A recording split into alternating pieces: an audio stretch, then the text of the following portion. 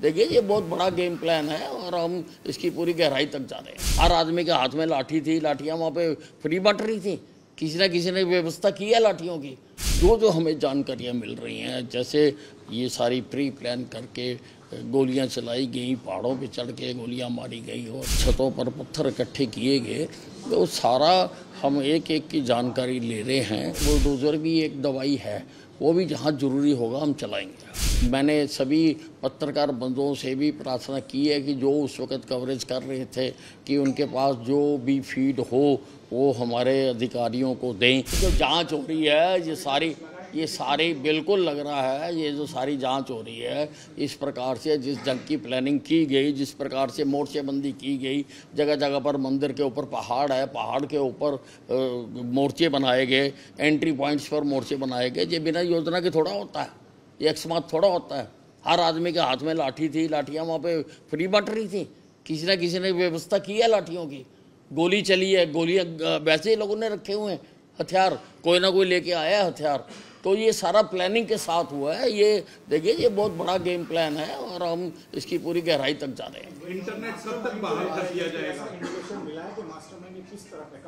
नहीं देखिए देखिए देखिए we should not rush to any early conclusion सारी चीज़ें बात करेंगे और फिर करेंगे। मैं कभी बिना मतलब ऐसे कभी किसी पे वो नहीं करता हमारी पुलिस इस सिद्धांत पर काम कर रही है कि एक भी निर्दोष को सज़ा ना मिले और एक भी दोषी छूटे ना, कोई भी हो जाए, जो जो हमें जानकारियाँ मिल रही हैं, जैसे ये सारी प्री प्लान करके, गोलियाँ चलाई गई, पहाड़ों पे चढ़ के गोलियाँ मारी गई और सारा कुछ किया गया और छतों पर पत्थर इकट्ठे किए गए तो सारा हम एक एक की जानकारी ले रहे हैं और उन सबके खिलाफ कार्रवाई करेंगे सर जो बुलडोजर चलाया गया है झुग्गियों के ऊपर तो क्या झुग्गियों के ऊपर ही चलेगा या कहीं और भी जो दोषी पाए जाएँगे उनके संपत्ति भी तोड़ी जाएगी?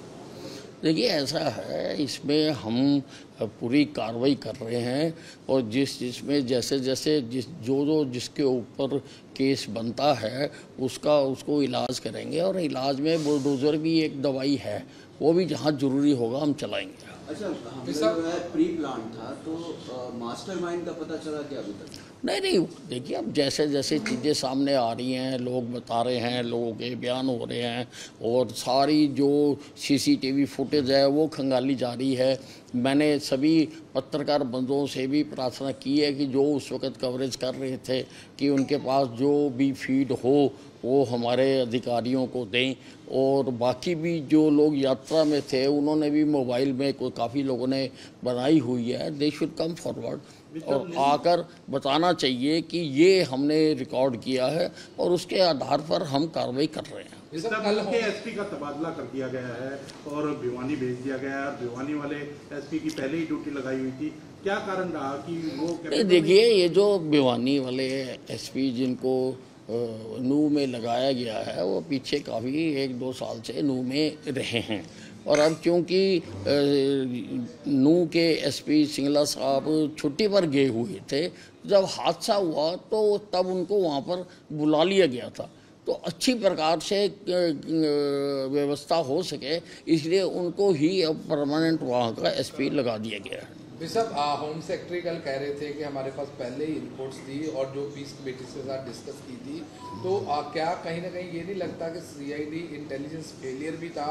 और अगर पहले इनपुट्स थी तो एक्शन क्यों नहीं लिया गया देखिए, किसके पास इनपुट थी, किस लेवल की इनपुट थी, किसको बताया गया, हम इसकी जाँच कराएँगे। देखिए इतने बड़े मामले हैं, बिना जाँच के किए नहीं जाते, और हमारी सरकार ऐसे काम करती नहीं है अंदर काम करती नहीं है।